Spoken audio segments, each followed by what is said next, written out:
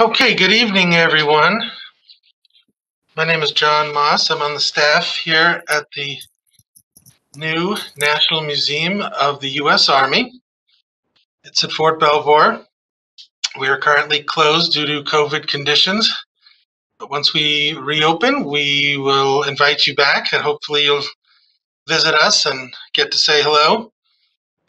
Uh, tonight, and on our book talk, we are very pleased to have with us uh, Paula Whitacre, who has uh, recently written a book, A Civil Life in an Uncivil Time Julia Wilbur's Struggle for Purpose.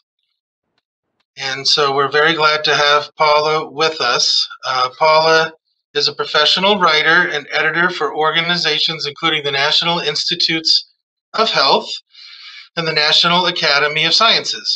She's a graduate of Johns Hopkins University, um, and she is a former U.S. Foreign Service officer and a staff writer for the Washington Post. So, welcome, Paula. We're glad to have you with us. Thank you for inviting me. Good. Okay. Well, we um, we have a couple of slides that we're going to show, and then uh, we're going to get into some of the questions so that uh, the folks can see you and me. Okay. Um, so um, let's go to the first slide, if we could, uh, which is a picture of Julia Wilbur. She's the subject of uh, this book and uh, based on her diary. Uh, a um, New Yorker and a and a, a, person interested in many many causes, including abolition and was active in that movement.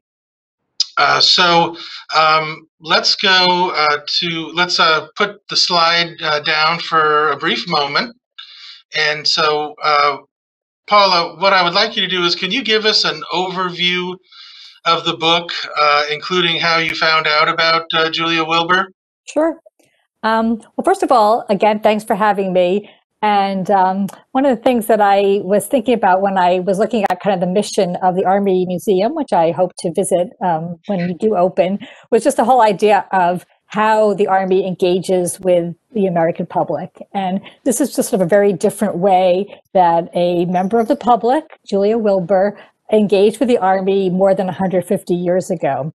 She was a teacher, an abolitionist in Rochester, New York, which did have a very active social, you know, kind of social reform movement at the time, mm-hmm. and was involved with a group called the Rochester Ladies Anti-Slavery Society. When the mm-hmm. Civil War began, um, she the, the group decided to send somebody. First, it was going to be to Washington D.C. She ended up in Alexandria, of course, to help with people escaping slavery. So, improbably, this single middle aged Rochester, New York school teacher in the middle of the Civil War took a train, came down here, ended up working for three years um, in, uh, in Alexandria and in Washington. Okay, thank you. um, the uh, some of the folks that she met uh, in New York were pretty prominent, including Frederick Douglass and Susan B. Anthony. Can you tell us a little bit about how she how she knew them and, and would later uh, meet them again when she came to the uh, Alexandria area? Sure. Um, so, you know, the, the reform movement, I guess, you know, as with any kind of group of people who are like minded, they sort of seem to cross paths in various meetings and lectures and that kind of thing. Susan B. Anthony was actually a fellow teacher with Julia Wilbur in mm. the 1850s. And so that was how they first met before they both went on obviously very different paths. In fact, they defend they helped kind of defend each other when both spoke up about having equal wages for female versus male teachers, which mm. did not go very far. Um, Frederick Douglass had moved to Rochester uh, in the 1840s, and that's where he published his North Star newspaper. So by being active in kind of anti-slavery circles, you know, she ended up, um, you know, obviously not being friends with him, but certainly visiting on more than one occasion. Um, and uh, teaching his daughter for a, little while. And uh, so that you know they had various um, encounters that way. Much later in life, after the war, they both lived in Washington D.C. Um, and uh, and you know they would come across each other uh, with women's rights and kind of other um, other kind of meetings. Good. I believe we have a slide of uh, Douglass and Anthony, so um, we can we can see that uh, in a second here. The um, so she was very involved in these causes. Um, her family uh, situation was in that was that she was uh, single. Is that correct? She was single. She was kind of the one single uh, member of a large family. So there was a lot of caregiving responsibilities. Kind of that's sort of what happened in those days. You know, the unmarried daughter took on a lot but it also gave her a lot more freedom than she would have had had she been married. The, in other words, the freedom to come down and work uh, and work in this area, which I I cannot picture having happened, you know, if she were married. Mm-hmm. Okay, so how did she come to uh, relocate to Alexandria during the Civil War? Right. So um, the uh, this group sent her first down to Washington, and she came armed only with kind of letters of introduction. I mean, this was not the days when you could, you know, email or call beforehand and say, "Hey, I'm coming. You know, what, where should I go?" And just when she first got to Washington, which she sort of described as, you know, the sort of chaotic, um, you know, and I'm sure people have been, have been, uh, people have seen descriptions of, you know, Washington during the Civil War, you know, between the troops and the mud and the noise and all that kind of thing. But she went, uh, she con- she connected with a group called the National Freedmen's Relief Association, and um, they said to her, "Oh, really? What you where you need to be is in Alexandria." At the time, this was she came in 1862. Beginning in mid 1861, mm-hmm. um, at, when people escaped slavery and came behind Union lines, which meant Washington and meant Alexandria, they would not be returned to slavery. So. Mm. Um, thousands of people were taking advantage of that, formerly enslaved people, and um, both Washington and Alexandria and uh, many other areas you know, just had thousands of people coming in, um, you know, brave as can be, but certainly mm-hmm. without the resources to really, you know, do much. Uh, mm-hmm. Uh, they they often got jobs with the Union Army, but uh, you know, coming you know with housing and healthcare and that kind of thing. So relief groups um, kind of filled the vacuum. Uh, the U.S. Army, by the way, was officially responsible for freedmen's welfare, mm-hmm. but you know, kind of wasn't always doing what they needed to do. And so again, these private groups tried to come in and sort of fill the gap. So that was what she intended to do when she came down here. I mean, there was no particular, you know, job description or job or anything like that waiting for her. She kind of came with this mission and tried to figure out what she could do to help. Mm-hmm. Okay, we have a, a slide of uh, the Alexandria waterfront area at the beginning of the Civil War, so folks can take a look uh, look at the the waterfront and the busy port of the uh, of Alexandria, which was uh, occupied fairly early in the war. Isn't that isn't that right, right Paula? Yeah, pretty much from the beginning of the war to the end. I mean, it was too strategic a location really to mm-hmm. let it stay in Confederate hands. And so, as soon as Virginia uh, officially seceded in May of 1861, the Union came in, and you know that was that was um, you know they stayed through the war. Um, so uh, they were there were ferries, uh, steamboat ferries, kind of back and forth between Washington and Alexandria. So then they, basically, she would have you know landed um, you know on a dock like that. Uh, and um, you know her first for her first encounter, and then even while she lived in Alexandria, she often talked about going back and forth between Washington and Alexandria to you know see the sites or visit people or, or that kind of thing. So yeah, so this was this would have been very much a part of her like everyday worldview and she was she was a little taken aback by the condition of the town right. of Alexandria, right, when she first right. arrived. Right. Well, you know, it's one thing, um, uh, you know, kind of and your farm in outside Rochester, New York, you'll say, "Oh, I'm going to go down here and help all these people," and you know, kind of do this sort of thing, and really come down to the reality of basically an occupied city during war. I mean, it was it was quite eye opening. And it did take her a while. I mean, there was definitely um, some disorientation of, you know, she was by herself. I mean, who who could she trust? What should she do? I mean, just try to picture yourself getting into a situation like that. You know, be pretty overwhelming. Um, one of the things that you had asked before, and um, it's kind of relevant here, is how how do we know all this, right? So she kept a diary, and fortunately for us, for history, the diary was preserved. Is at the original is at Haverford College. So by using the diary, we really get sort of a day to day look at war through a, just a very different perspective. Um, so you know we're we're fortunate that we have it. And we'll, we'll have a we'll have an image of that uh, in a few minutes here, uh, Paula. Um, but when she when she arrived in the area, she tried to get help from union officials and government officials, and she, and she started out pretty high up on the on the chain, right? Uh, she was not shy Right. about you know going to where she felt she needed to go. The provost marshal was the um, you know the person officially responsible for what was known as contraband affairs. They were called contrabands at the time because they were kind of contraband of war property of sou- southern of southerners hmm uh, legally. Um, and so um, the contraband affairs were supposed to be under the aegis of the provost marshal, who was responsible for keeping order, for you know just a myriad of other tasks.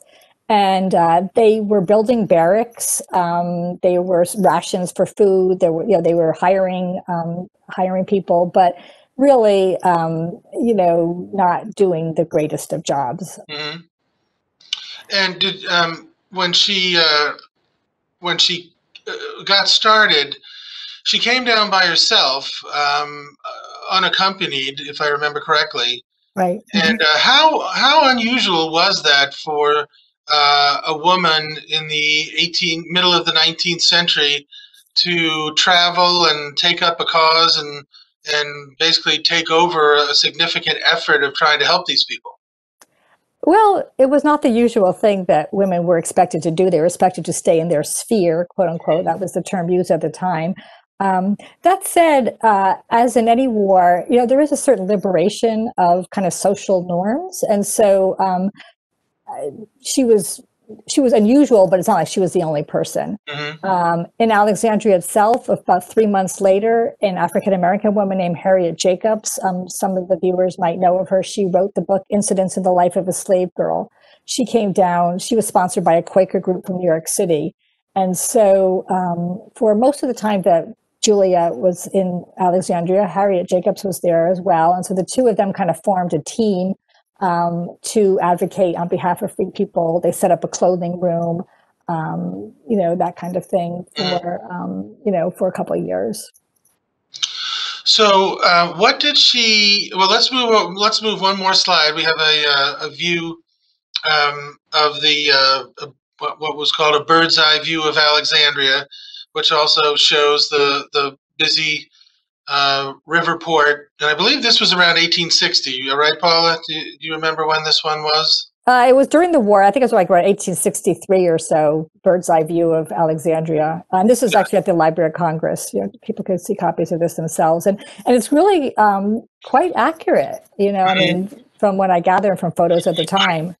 Um, but yeah, there's lots of you know business going on. I mean, there were tons of um, soldiers uh, there. You know, kind of in between. You know, going off to battle. There were 32 hospitals, Union hospitals set up. Um, so there was just a lot going on in, in Alexandria. So, what were her efforts to help the freedmen? What did she do, and what did she, what was she able to accomplish? Um, so first of all, there were roughly uh, at, a, at the height, perhaps as many as 8,000 um, people coming in. Um, I mean, no one's ever really done sort of a, no one was did a specific census at the time. The first thing she did was set up a clothing room. People were coming in literally with just kind of the rags on their backs, and she would solicit clothing from up north uh, to uh, to distribute, you know, in Alexandria. Um, there were barracks that were being built by the army, um, and the original plan, for example, was just to kind of have one huge room where like everybody would sleep together. And so, you know, one of her kind of, um, I guess, advocacy uh, tasks was to, you know, successfully get separate rooms for people, so separate rooms for families, so Mhm. sleeping rooms. Um, there was a um, attempt afoot to take orphans and move them into a smallpox hospital, which you know, as we know from COVID, uh, infection being Right. near somebody with an infectious disease is not a great idea. Right. So um, she advocated to, uh, you know, not to have that happen, and they, uh, she and Harriet Jacobs actually were able to set up a room and hire somebody to take care of some orphans in the barracks. Um, they were not always successful. Um, they were definitely seen as meddlesome by um, by certain ar- army officers. Um, there was an appointed superintendent of contrabands, a white man, a minister from Connecticut, um, and they were constantly, you know, kind of butting heads with him because he they saw him as just being way too officious and really not, you know, caring for the people. Whereas, you know, um, Julia was maybe a little bit more. Um, she was accused of being too soft-hearted. Hmm. So, where did she get funding for what she was doing? Well, this Rochester Ladies Group did pay her expenses. Hmm Um, and then again, for clothing and things like that, she would, you know, write to different aid, you know, relief organizations and missionary groups and women's groups in the North to get clothing sent down to Washington. And she's constantly talking about getting a barrel of clothing and going to the post office and, you know, the Adams Express is going to be sending things and stuff like that. hmm So she was in uh, Alexandria from about, from 1862 to 1865. Do I have that right? Right. hmm So where did she live while she was in Alexandria? Uh, first, she lived um, in a um, just boarded with an African American family, um, a prominent family at the time, actually the George Seaton family. Then she moved to a boarding house um, on the corner of Duke and Columbus Streets. The building still stands; it's kind of divided as apartments. But then most of the time, she was in a house. They refer to it as the corner of Washington and Wolfe Streets, and Hmm. it's 323 uh, and 321 South Washington Street. They still exist. Uh, 321 is a, um, a pet shop, and Mhm. 323 was until recently an antique store. So um, you can kind of, I when I was able to go up into the antique store, uh, you know, by the previous owner, and you really can see kind of the the hallways and kind of corridors and little rooms where um, where she lived. And then they set up the clothing room in the, uh, you know, kind of on the first floor Mhm. and that's where she stayed for most of her time. And there was like sort of a constant struggle about, you know, getting space and getting furniture, and um, you know, a lot of sort of similar bureaucratic struggles of today um, existed back then as well. Mhm. The the Washington Street and Wolfe Street location, that's near the Little Theater of Alex- Alexandria, is- isn't it? Isn't that? Right? Yeah, it's a it's kind of kitty corner across the street. Exactly. Mhm. Oh, good. Okay. So um, let me uh, uh, pull up the next image, and I want to ask you about this and how this relates to the story because it's in your book. Uh, and this was of the uh, Alexandria slave pen on Duke Street. How does how, how does this? If if I'm correct, this building is still standing, correct? Right. This So how, is do, how does this fit into the story? Okay. Um, this was unfortunately um, one of the largest slave trading businesses um, in America at its in its heyday, which was um, you know the kind of 1830s, 1840s, and um, uh, when the Union Army came in, they occupied the building, you know, pretty much right from the start. Um, there's uh, a story that a, an enslaved man was, an older man was found, you know, somehow when they left Alexandria, they kind of left him, um, and he ended up um, kind of connecting with the Michigan Regiment. But in any event, um, when the army came in, it was actually a pretty useful building, right? It was it had a lot of space. There were um, there were pens in the back, you know, where people had to stay. Um, they used it as a jail. They used it for you know kind of offices and housing over the course of the time of um, of the war. Um, so this was a, you know one of the places that was on Julia Wilbur's rounds, um, just to kind of see what was going on. They one time she was there and um, discovered that um, Union soldiers were actually um, giving what they called a shower bath treatment to um, uh, people who were not behaving correctly, you know, prisoners. And when she found out that women, it was happening to women, uh, you know, that basically army soldiers were stripping down women and, and giving them the shower bath treatment, she was just appalled, as you know anybody would well, anybody would be, and certainly at that time. Um, she decided to um, bypass kind of the military authorities in Alexandria and write a letter to um, the Assistant Secretary of War. Um, at the same time, she told folks in Rochester, and they wrote a letter to Abraham Lincoln, believe it or not. And the letter came down and eventually had to be investigated uh, in Alexandria. The letters are in the archives, and um, you know the uh, provost marshal and military governor are just um, not particularly happy that this civilian woman has gone around them to complain, right? You know, kind of around the chain of command. Um, they said that they would cease the practice, but in the meantime, as said in the letter in the archives, um, this brooding burden or this brooding meddlesome woman is just you know kind of getting too much for us. Right. Um, but but she kept on, and so um, uh, yeah, so that was um, you know, and again that became kind of a part of um, you know what what was going on in occupied Alexandria. So, what were her? I mean, uh, I'm going to ask you what were her challenges and frustrations, and you've talked about uh, a little bit about uh, always looking for clothing, and I'm sure money was was not overflowing. What were her chief frustrations and challenges that she had to overcome to to help the contraband freedmen uh, right. get back on their feet, or at least to secure a safe place to live? Well, I think mainly when she saw indifference, you know, or hostility toward the cause, that was the most frustrating thing for her and um, you know, and just trying to find ways to get it, get around that. That would really be the biggest thing. Mm-hmm. Um, and uh, you know, just uh, I mean, she got lonely. You know, living conditions were not good. Um, you know, there was a kind of low level sickness that people kind of seemed to have during that time with various stomach and respiratory issues. Mm-hmm. Um, and so she's often kind of laid low. Um, in the meantime, I mean, there's uh, you know a certain amount of self doubt that um, I guess anybody would have in a challenging situation she was not immune. So there's kind of those kind of human, uh, you know, kind of ups and downs that she had, um, and uh, and I guess really just kind of figuring out, you know, how is this all going to end, you know, and is it going to end well? Sure. All right, we have a, we have another uh, slide here that uh, doesn't uh, the next slide doesn't uh, uh, pertain to Alexandria, but this image is from, uh, I believe, a newspaper uh, at the time, uh, Frank Leslie's illustrated newspaper, and it um, shows the the arrival of the freemen in uh, Baltimore. But this this could have been right out of Alexandria too. Would you say? Right. Yeah. Yeah. Um, yeah. There are a few photos um, of you know people you know, not just illustration, but also photos of people just trying to, you know, again, maybe with a horse, maybe with a, you know, an oxen, usually on foot, just mm-hmm. trying to make their way, you know, as best they can, um, you know, into safety and into freedom. Mm-hmm. And do you, did you get any in your research? Did you get any indication of the scale of this problem as far as number of freedmen coming in and the families? What, what do you have any sense of that?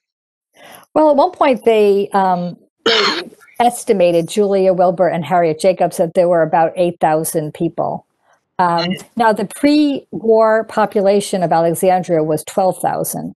Um, about 1,500 uh, enslaved, 1,500 free blacks, and the rest whites. Uh, during the Civil War, a lot of the whites left. Um, but you know we're talking about you know quite a and not to mention the all the you know, soldiers coming in so you know we're talking about sort of a, a huge population pressure you know on resources and on land and on everything else um, that would have occurred in alexandria and um, and also you know in washington as well mm-hmm. so as you mentioned the army was officially responsible for the freedmen right and mm-hmm. um, so can you tell us more about you've you've you've uh, started to to um, talk about it a little earlier. What was the army? What was the army doing in Alexandria? Uh, and I don't mean the soldiers that were kind of coming on ship and then marching out into uh, toward Manassas and the various campaigns or south to Fredericksburg, but what was the occupation like, and what was the army doing in Alexandria?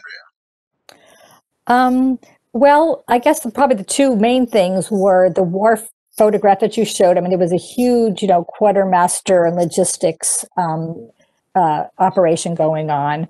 Um, the quartermaster, one of the quartermasters, wrote something like uh, he he you know showed up to you know for his first day of duty and there was something like you know send 10,000 bales of hay or you know and 10,000 things of ice or some kind of outrageous amount of you know things that needed to be um, to be sent. So just you know between there's also a lot of train you know, between ships and train um, railroad um, you know there was just a lot of kind of supply um, you know operations going on in Alexandria um, as I mentioned, there were you know, 32 Union hospitals. So, for example, after Fredericksburg, you know, hundreds of men came up to Alexandria uh, to use the hospitals. Um, there was a cemetery. Um, there was uh, really just kind of keeping, making sure that Alexandria stayed, um, you know, uh, stayed out of Confederate hands. So, you know, there were at various times, either actually or, or oftentimes rumors that, uh, you know, there was going to be raid, you know, Confederate raids on Alexandria and things had to be sort of, you know, picketed and barricaded. But it was, it turned out that there was never any like serious threat, uh, you know, during the time. But, you know, you obviously you had to make sure.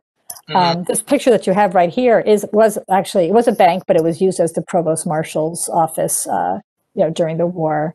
Um, and I sort of picture, you know, this uh, her, you know, kind of walking up this gauntlet of guys, just kind of hanging out uh, to go talk to the provost marshal with some demand or request, and them thinking, "Oh, here she comes again." You know, Right. just- yeah, right.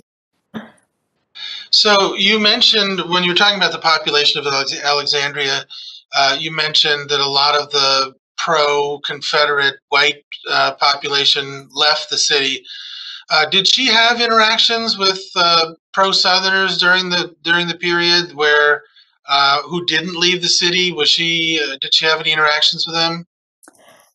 Yeah, I mean, she wasn't terribly sympathetic. Uh, she used this term um, "secesh," like it's short for a secessionist, Mhm. uh, and you know, she would talk sometimes about you know running across that, but she she made no friendships. I would have to say with you know pro Southern um, white Alexandrians. Mhm.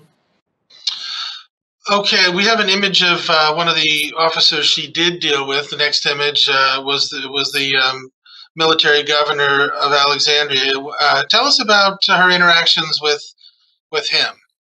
Right. Well, he was he was quite a character. He came into Alexandria a couple months before Julia did in the summer of 1862, and basically he was sent to um, restore order. I mean, you know, there was just a lot of you know kind of drunkenness, and I mean, there were kind of you know Alexandria kind of had his reputation. If you want a good time, you know, come down to Alexandria.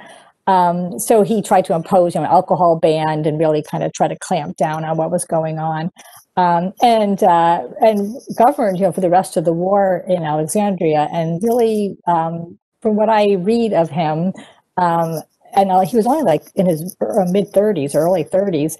Um, you know, just had no problem. Like, you know, I am boss. This is what I have to say. Um, so the first time that she uh, ran across him, kind of face to face, was when she had this experience with you know the, um, the, the the decision, the possible decision to send orphans to the smallpox hospital. She and Harriet Jacobs, you know, kind of gathered up all their courage and went to speak to him, and he ended up agreeing with um, them and got to send them. So. Um, you know, uh, she had various other encounters with him, um, and certainly knew, you know, whatever he said. I mean, he was in the papers all the time, you know, uh, very uh, careful of his image. Um, he, by the way, um, had served in the Ohio legislature before the war and was kicked out for, you know, having a brawl with a fellow le- legislator. Uh, after the war, he went to New Mexico territory and was eventually, I regret to say, um, killed in some other kind of altercation with somebody else. Hmm. So he had a temper, I think. Sounds like it. So in her in her diary, in her writings, um, did she, what did she say about the war itself? Um, what did she did? Is there any indications on whether her abolitionism uh, made it seem like the war was a crusade, or was did she say much about the the death and the the deaths, the wounded that came in? Any any indication there in her entries? Yeah. Um, well, first of all, before the before she actually came down, I mean, she was following the war as obviously were many other Americans, just avidly. She had a brother-in-law who had, um, you know, volunteered early on, and so she was getting letters from him and really kind of living vicariously through him and through the newspapers. Um, and one time, you know, when she heard like, you know, soldiers kind of coming down, you know, leaving Rochester, coming down to um, Washington, she was like, oh, I, I wish I could do that too, you know? So, I mean, she really, and because she really was imbued in the cause and really saw it as a way to end slavery early on. And, you know, obviously there's a lot of debate about, you know, whether it was for a lot of people, was it to preserve the Union or to end slavery, to do both? But she really saw it as, as the way to end slavery. Um, she visited a number of battlefields, you know, after after the fact. Obviously, Fredericksburg, Bull Run, um, out in Fairfax Station. um, just you know wrote very often about um, you know hearing the stories and picking up relics from the battlefields. Um, that said, you know she um, came across former students who were like in hospitals in Alexandria. So I mean, she saw that there was you know there was a, another side of the war as well. I mean, you know, kind of death and um, and and you know being wounded. Um, but I think she, I mean, she was a true believer from the start to the end. Mm. Um, tell us now about the diary um, and how you uh, started working on that. We have a we have a picture of the diary um, that I believe is also in the book as well. And let's see if we can bring that up. There, there you go. There's a, a an image of the diary. It's pretty small, but um, can you tell tell us about the diary itself and what your impressions were? What what kind of got you uh, interested? In um, yeah, because once you start reading it, I mean, you can get like just immersed in her world, which is really mm-hmm. great. Um, she kept this diary from um, 1844 until her death in 1895. So we're talking about like 50 years worth of diary. Um, I got into it uh, through uh, working with Office of Historic Alexandria. Um, I've been doing some research first on the Union hospitals, and um, they uh, they had the the diary. You know, was like I discovered the diary. It had been well known for the mm-hmm. last, um, you know, for, for some time, but um, no one had transcribed, um, you know, kind of the period. It was just basically like handwriting, like you're seeing here. And so originally I offered to transcribe kind of the Civil War years of her diary, kind of little mm-hmm. knowing what I was getting myself into. But it took a few years and um, I did transcribe and tried to annotate as much as I could. And then um, when I uh, had been working on it for a few years, I went up to Haverford College uh, there at Haverford because a great great nephew was a professor mm. there, and he donated you know the kind of this family treasure to Haverford, which we are all you know very fortunate to that he did. Um, when uh, I discovered she actually had a whole other like parallel set of diaries, um, kind of like just written kind of on on paper, you know, not quite each you know a date for each entry. And so, um, with a group of volunteers uh, through Alexandria Archaeology, we actually transcribed the civil those Civil War years as well. And uh, I think you're going to have a um, you can show the URL at the end. Both of these are um, are you know are online and, and are searchable for folks.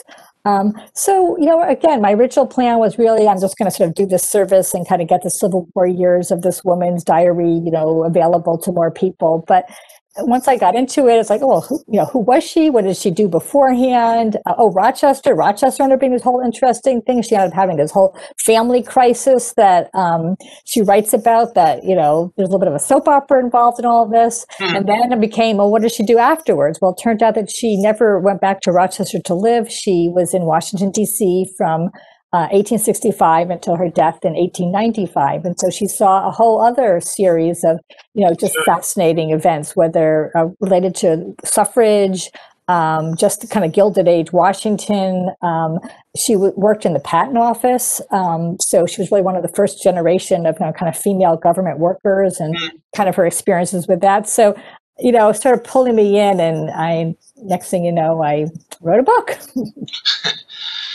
you make it sound so easy. Well, well yeah, it wasn't quite that easy, but I, I enjoyed it. It was definitely a you know great project. So the diary we see here in the image is is that one of several um, that she that are there, are there more than one uh, actual book? Oh yeah, every right. year has its own little book. Okay. Yeah. Um, and that that one happens to be, I know it's hard to see, but that one happens to be a very momentous day because um, it was the night that Lincoln died, you know, the day after Lincoln died. Um, and, you know, she writes about, uh, you know, kind of this joyous afternoon of people celebrating in Alexandria. There was a parade and, and that kind of thing. And um, there's actually the photo that's on the cover of the book kind of shows a group of people, black and white, kind of in their best, you know, dressed clothes, you know, celebrating um, and on April 14th, Friday, April 14th, during the day, and that night was the night that Lincoln went to Ford Theater. So it went from that kind of joy to, you know, just the hmm you know the grief and the horror uh, and she's writing about you know hearing the bells toll that morning in Mm. alexandria um, and uh, you know and kind of the aftermath so Mm. um, but a a lot of the diaries also things like uh, the weather was cloudy today and i had a headache so Sure. um, there's lots of that kind of stuff too So did it did it surprise you at all when you were researching this that she didn't go back to Rochester after the war and stayed in in D.C. for uh, several decades? Right. Well, she did actually. She did go back in the summers, by the way. Anyone wants a good excuse to get out of DC summer, right? Uh, to visit her family. But I think she realized that if she went back to Rochester, this kind of agency that she had gained from, um, you know, working during the war, she would lose. She would once again be the kind of, you know, dutiful, you know, daughter, aunt, sister who would just be kind of there to take care of everybody else and not do what she wanted to do. Yeah, well, I was I was surprised re- reading this that you know she she had a number of siblings and a lot of relatives in Rochester, and then I believe several moved to Michigan, right? Or Yeah, yeah, lot- yeah. It seemed to be a very common thing to go from upstate New York to Michigan at that time. Mm. So, um, and her her father initially was not very uh, uh, enthusiastic about her plan to move from Rochester to wa- the Washington area. Is that correct? Right. Yeah. Yeah. And the fact that she, you know, her way was paid by the Rochester Ladies Anti-Slavery Society was really the only way that she could have done it. Hmm. Um, because by then um, she had been working, you know, for a while. Um, she had been teaching, um, and as I write in, in the book, she ended up taking care of a niece. And then, uh, you know, when some circumstances, family circumstances kind of went awry, she really had sort of withdrawn from life for a couple, you know, and was not making her own living. So, um, you know, get, getting these expenses, um, you know, paid was a way to kind of get her, you know, get her out of that situation. Um, and uh, you know, again, she, I mean, it's not like she cut, she severed ties with her family, quite the opposite. Uh, in fact, her sister ended up moving down here for a while and she, um, you know, was always kind of very, um, uh, what do I want to say, you know, caring of nieces and nephews and other, sis, you know, other siblings. But, you know, but she, at that point, it was time for her to lead, lead her own life. hmm Now, um, there's a, there's a, a Freedmen's Memorial on the south end of Washington Street in um, Alexandria, uh, right right where the um, uh, GW Parkway crosses Right. the Beltway. Um, so, uh, which when I was many many years ago, I believe there was a gas station on that lot. Yeah, yeah. That is that is a great. I mean, that's sort of a really interesting story. So um, that had become unfortunately so many people, so many freed freed people were dying in Alexandria because of you know just bad health. That the you know, Pauper Cemetery, uh, which is a little closer to um, kind of like where Whole Foods is now. Uh, if people know Alexandria, was overflowing. So um, this Reverend Gladwin, the sup- superintendent of contrabands, confiscated some land to build a cemetery for basically a contraband cemetery is what it was called, and it was for um, African Americans. Um, and it, it you know was used through about 1867 or so um, and then it kind of fell into disuse and um, as you say you know just people just sort of quote unquote forgot about it whether it you know it was in the, one of these things where marginalized people are often forgotten through history right Mhm. um, it was sold. Uh, it was owned by St. Mary's uh, Parish at one point. It was sold to you know private developer. The idea being you know just don't put a gas station on it. It was actually in the agreement. Hmm. Of course, the gas station went on it. Um, in the uh, some of the environmental work to uh, redo the Woodrow Wilson Bridge, um, the uh, cemetery, some remains were actually discovered, and so um, uh, folks can um, now visit. It's been reconsecrated as a cemetery. Um, there's um, a list of all the people. Not the, the graves are not marked, but thanks to this Reverend Gladwin, um, he did keep a record of people who had died there. So there is at least a record of all the people. And um, a woman named Char Bah, Char Bah has done like amazing genealogical work to find you know many of the descendants of those people and there's been some you know couple of uh, ceremonies that have taken place there and now Um, and it's actually a good outside place to go during COVID. Right, Um, it's really a, a really a wonderful place to visit to just kind of think about, you know, kind of history and how history just kind of comes up to the present day.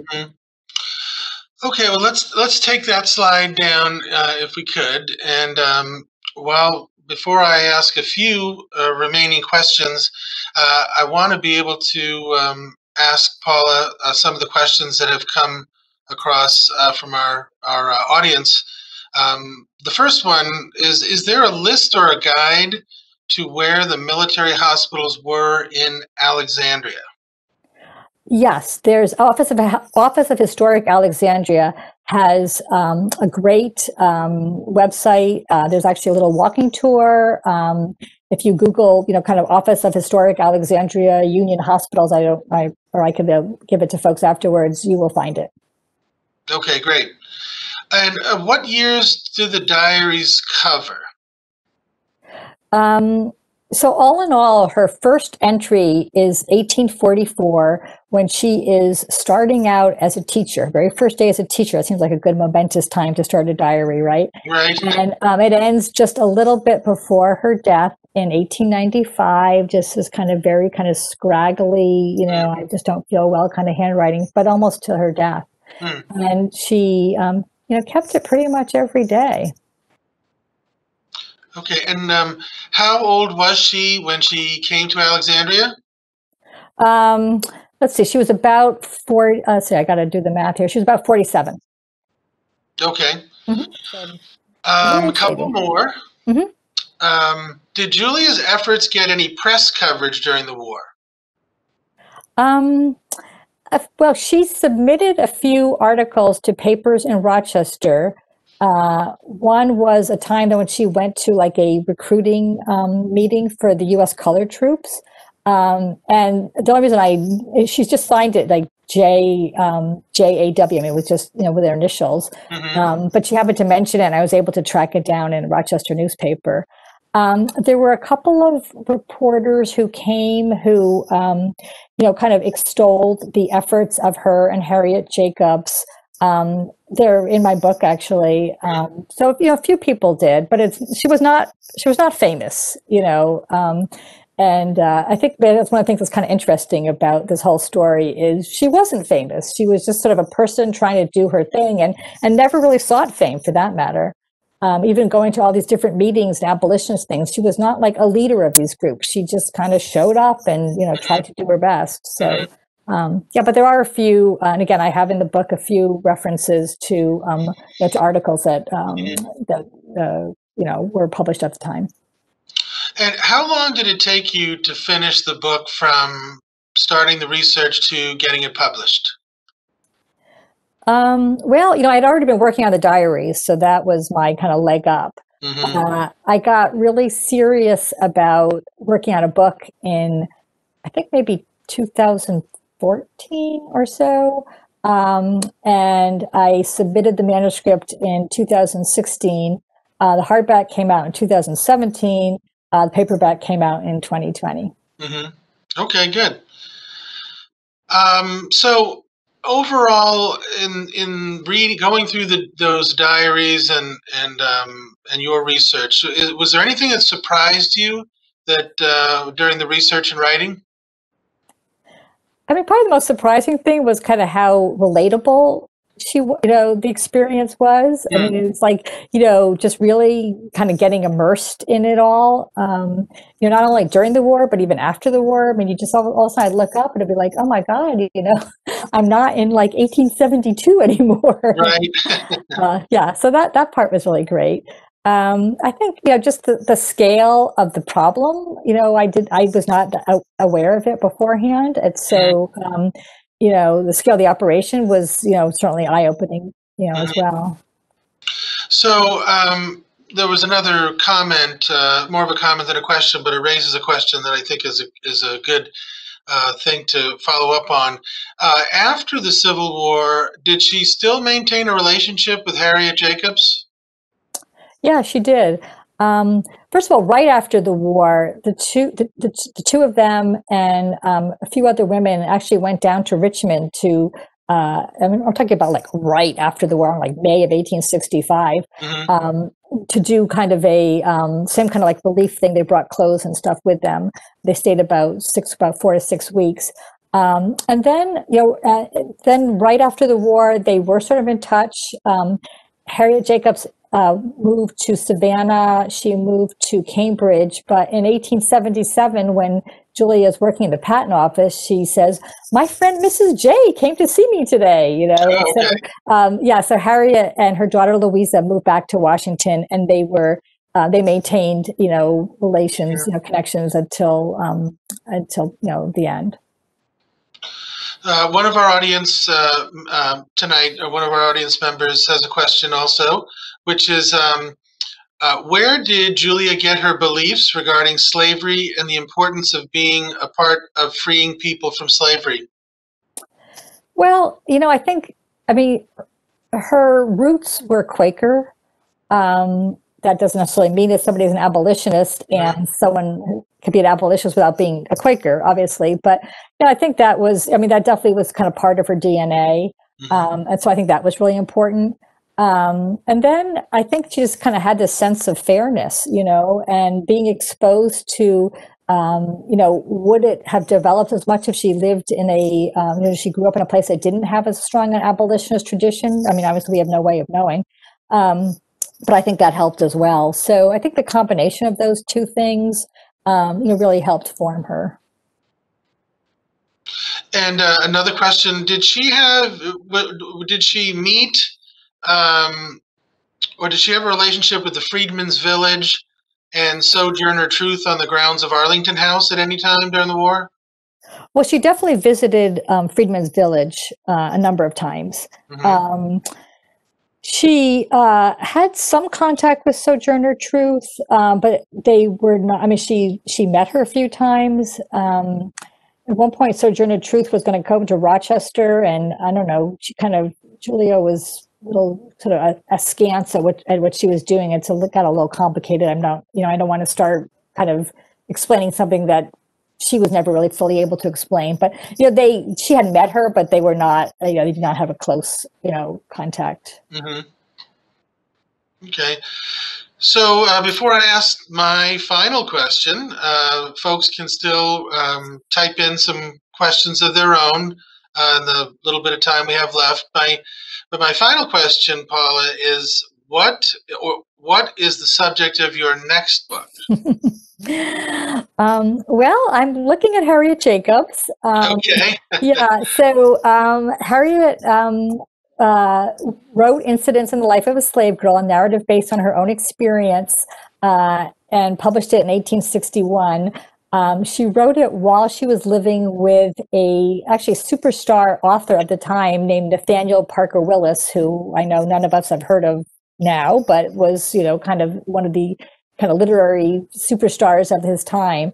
And so I'm trying to kind of explore like kind of the like a, the relationship kind of between um, Harriet Jacobs and the Willis family, and particularly the women in the family. Uh, he was married twice. His first wife died, um, who both seem to be kind of far more uh, exemplary people than he was. He was a bit of a bit of a cad, but um, anyway, so it's just kind of writing a story about them. Good. Well, I want to thank you for joining us. And thank you for having being me. so willing to uh, you and I have talked several times and prepared, and and um, it was very fun getting to know you virtually. Hopefully, you'll be able to come out to the museum soon. I'm looking forward to it. Mm-hmm. Um, and uh, I want to also thank uh, the museum, our the National Museum's IT department for helping us set this up uh, after hours, in particular. Uh, we have another book talk coming up, uh, which we have a slide for in January, uh, January 23rd, I believe and it is um, a new book that came out recently as part of a, a series on the revolution. Um, do we have a slide on that? I think here we go. Um, so the author is Mark Maloy, and um, his book is uh, I'm sorry, January 21st at 7 p.m. Um, all of our book talks are on the third Thursday of the month. So his new book is about the battles of Trenton and Princeton. So uh, we uh, have on our event site on the on our website, which is uh, www.t uh, the NMUSA.org, and you can find uh, registration. Um, we also, in the emails that you all have received, if you registered through our site, you will also get that uh, information on how to sign up for a ticket. And uh, he will talk to us about uh, revolutionary themes. So I want to thank finally our audience. We had a great audience tonight, great numbers, especially for uh, December, close to Christmas, um, to hear a great talk uh, by Paula Whitacre. And Thank you. from those of us at the National Museum, we wish you all happy holidays and a good night. Thank you. Can I just can I just say one other thing real Sure. quick? Besides a thank you to you, very much. I really much enjoyed this. Um, the different um, the diaries are digitized through at Haverford College. Um, the Civil War period is transcribed, um, and some letters that she wrote at University of Michigan are also transcribed. Um, but rather than give you all that, you know, right now, if you want to go to my website, which is just paulawhitacre.com, I do have links to all those, and um, Thank you. you know, you're welcome to dig into them as, as much as you'd like to. Well, thanks very much. And again, have a good evening to everyone and good night.